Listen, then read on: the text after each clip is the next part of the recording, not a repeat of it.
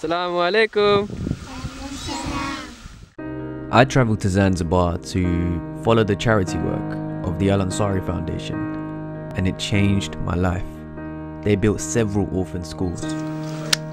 Takbir. The one who looks after the orphan child will be in Jannah, Prophet Rasulullah sallallahu alaihi wasallam, and they will be like this.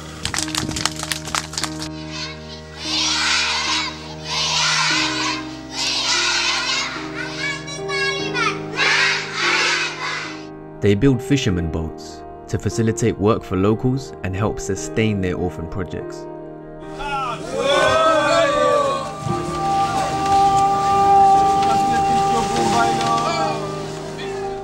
They build clean water wells for those who don't have access to clean water. They distribute food to different remote islands and villages to the less fortunate.